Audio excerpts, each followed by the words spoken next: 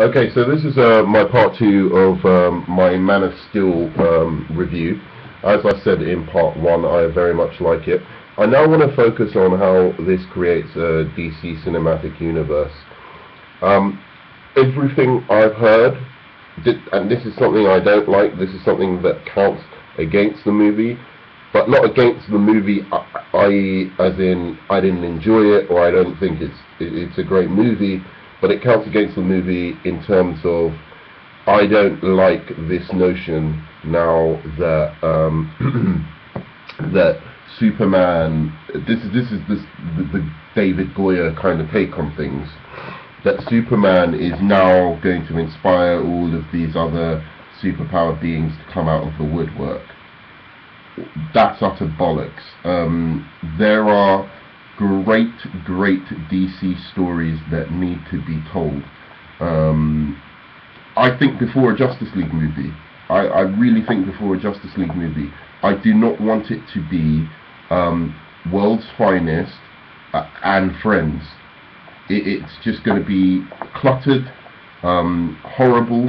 Um, I, I, know Hollywood can't. Some writers could pull it off. I, I'm not going to lie. Some writers could pull off a Justice League movie and have you be interested in all of the characters. Hollywood can't do that. They could barely, barely manage this Man of Steel Superman. Because um, as much as I like it, I still do say it has like some incredible flaws. It's nowhere near as good as um, the if you read the Earth One comic or the Birthright comic. Um, it's nowhere near as good as that. Um, so, it, it, but it's a great movie um, in terms of the uh, the actual film um, itself.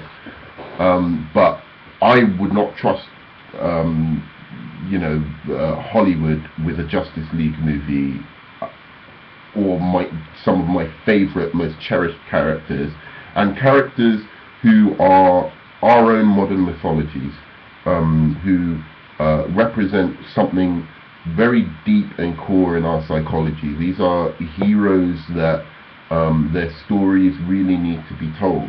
Um, I'm thinking, I have to say, first off the bat, specifically Wonder Woman. There are other characters, secondary characters, that I think are very important. Um, secondary characters like uh, The Flash, I think is very important.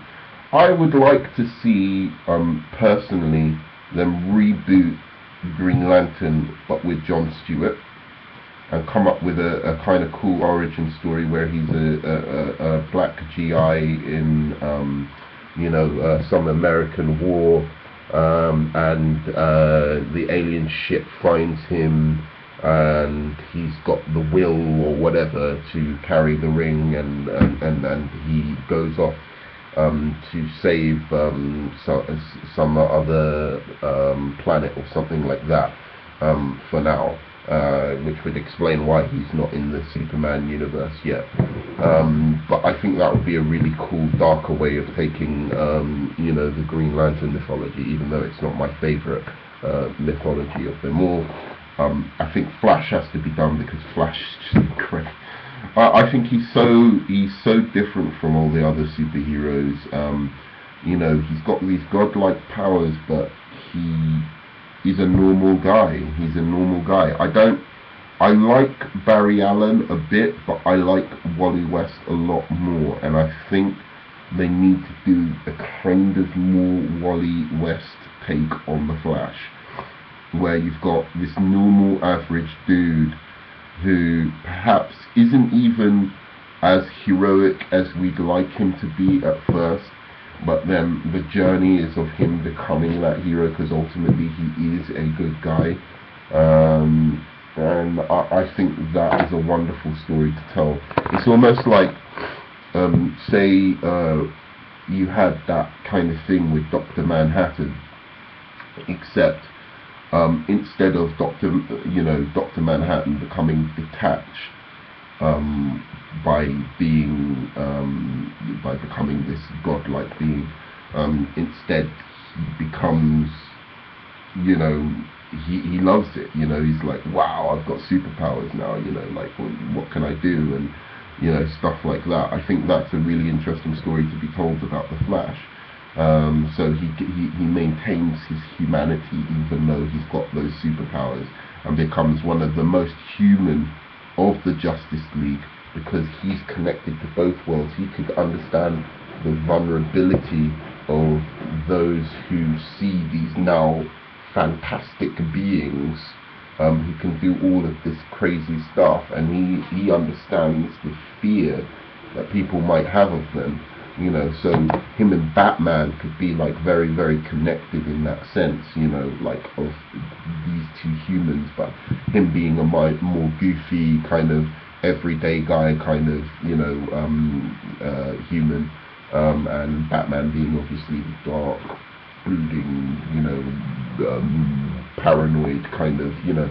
Um, and I think, you know, to establish a Flash origin is important to maintain the integrity and the humanity and give us, the viewer, somebody to connect to in um, that universe.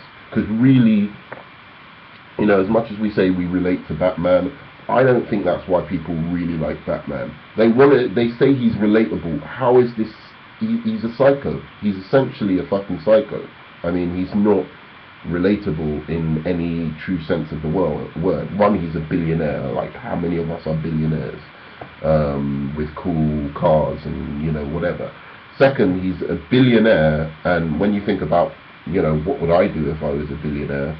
Uh, or I found myself a billionaire at the age of um, seven year old, uh, seven years old, we'd probably party a lot and uh, we'd probably like get some chicks and you know, death of parents really tragic, but hey, you know, eventually you you grow up and things happen, and I I, I say that from a you know, I'm not trying to be cold. Obviously, it's always going to haunt you, but like let's face it, no one's going to become Batman because their parents got killed um, and they, especially if they're rich, they're probably just going to spend the rest of their life fucked up as a teenager, doing like stupid things, and then you know eventually maybe uh, yeah, ending up in rehab or something like that. I don't know, uh, something along those lines. So he's not a relatable character. Uh, his neurosis, his his his mission that he finds himself obsessed with, and his uh, peak, he's a peak perfect human being. Most of us are fat slobs who, you know, sit around eating pizza and, you know, like, uh, you know, going out for a drink. This guy is a man who, who wants to reach the, the peaks of human perfection. That is not a character that, um, you know, is easily identifiable with. Whereas Wally West or, or The Flash is someone, you know, if people are given a chance to, to, to find out about this guy, he's by far, for me, the most relatable of the Justice League characters. Um, and the, the relation there as well, you know, is that we've got a guy who's just a normal guy who finds himself one day with incredible, incredible powers. Um, and the potential to do uh, great things um, if if he puts his finally like puts his mind to it, uh, and that's an interesting story to tell, um, and one that will give the the Justice League the humanity it needs before you know like kind of setting up for this film. But having said that, most most important one, I think the central character that really really needs to be done the most revolutionary, the most radical, um, and one that has just a beautiful, beautiful origin story um, is Wonder Woman. I think you could make the coolest, and I'm doing it. I'm doing it, and I don't care. It's I know, you know, as I said, it's never really going to be um, seen, but this is the time for Wonder Woman to come back because much like Superman, she's that kind of antiquated hero. She's that kind of hero we have up on a pedestal that you know supposedly we can't relate to um, because she's so high up and she's so noble. Um, and all these idiots that DC have been trying to do recently which just pisses me off, is make her into some kind of feminazi, um, you know, hates men kind of. It's just awful. It's like they can't just understand um, a woman who's kind of like noble and powerful and strong. You know that that that twists their little fucking um, minute brains. Um, if a woman doesn't have like uh, is scantily clad with big breasts and you know um, has uh, nothing to say apart from what the typical male hero would say. Uh, there's nothing really feminine about her apart from the fact that she's wearing the clothes of a stripper. Um, you know, th- those are the characters that DC really loves. That they're, they're the ones that you know make sense. This is what super, you know, little um, comic nerds um, are really interested in in terms of women, just titulation and whatever. And that's bullshit. I mean, you know, have a bit of respect for your audience. Um, and uh, because they can't deal with the issues underlying Wonder Woman, like some of the feminist issues, some of the politics. She's very radically political. Um, you know, this is a woman who, uh, you know, whereas uh, um, Superman's very much about American values, this is a woman who's very much, you know, like from the beginning, um, uh, and, and, and especially throughout like the kind of Perez and, um, you know, uh, Moulton Marston and, and all of these guys, this is a woman who understands what it's like to be perceived as weak, and she comes from a culture that was um, originally oppressed and um, exploited by men. Um, so she veers towards um, something that Beatty doesn't like to deal with, doesn't like to handle. She veers towards dealing with the bullies of the world right? And that is something that they find very, very. Because uh, if you really want to kind of go into that, that's very, very political.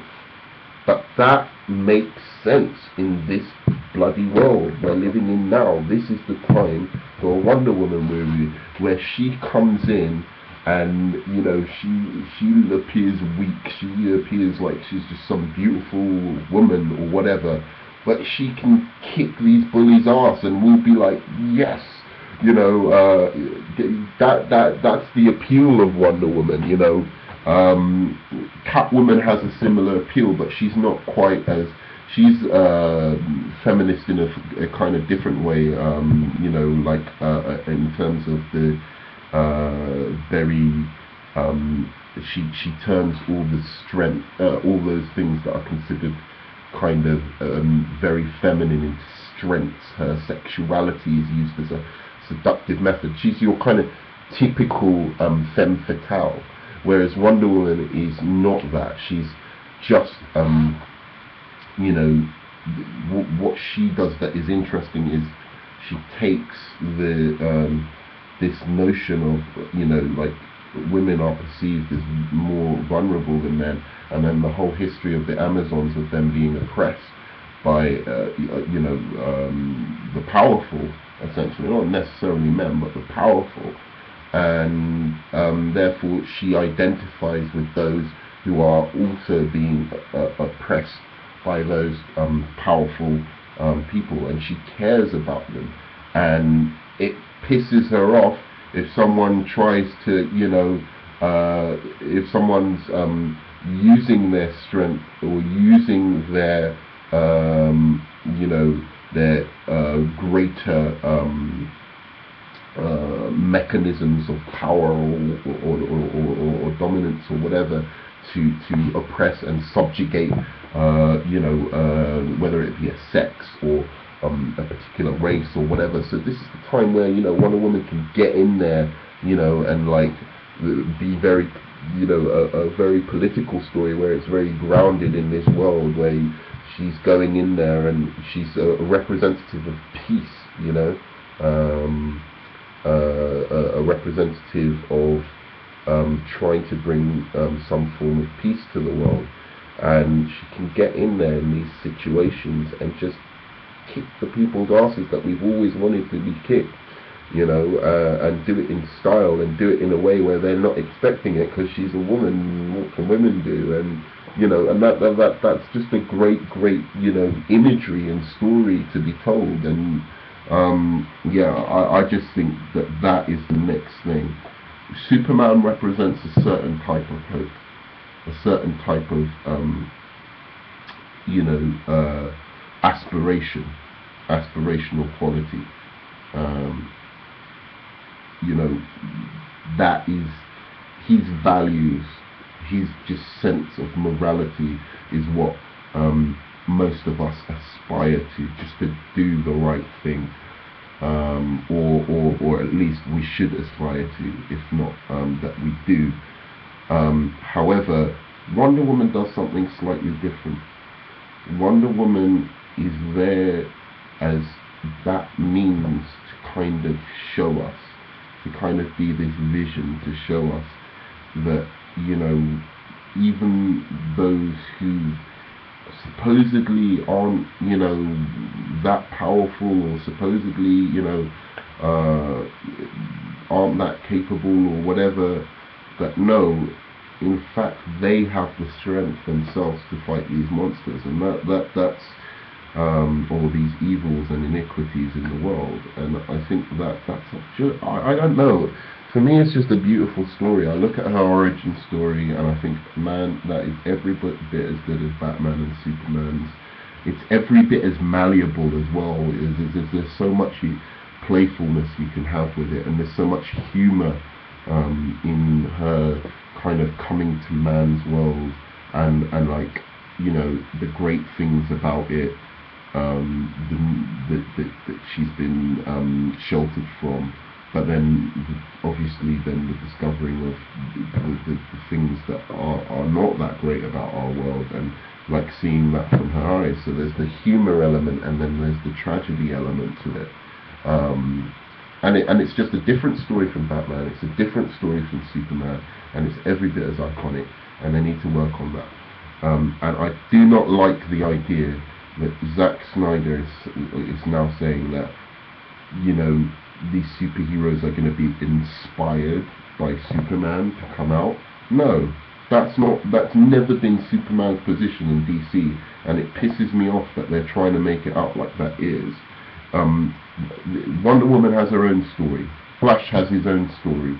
Um, uh, even Martian Manhunter and um, you know, uh, have their own reasons for being heroes. They don't need Superman to inspire them. They inspire themselves. That's why they're heroes. Superman can inspire us, mortals, us mere mortals. He doesn't inspire other superheroes like Wonder Woman. Wonder Woman doesn't need him um, to become a hero. She is a hero. She, she, she no flying blue man is going to make her come out and do like anything that she doesn't want to do or that she felt that she always should have done.